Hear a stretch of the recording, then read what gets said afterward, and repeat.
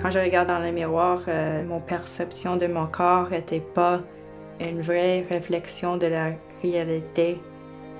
J'étais trop grande, mon peau était pas assez belle, mes cheveux n'étaient assez parfaits.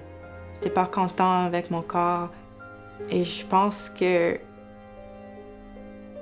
couper le pot, c'est une expression de ça. La peau, c'est notre, euh, c'est notre enveloppe, c'est notre limite, c'est ce qui nous définit. C'est l'interface entre qui on est, notre identité, et le monde dans lequel on évolue.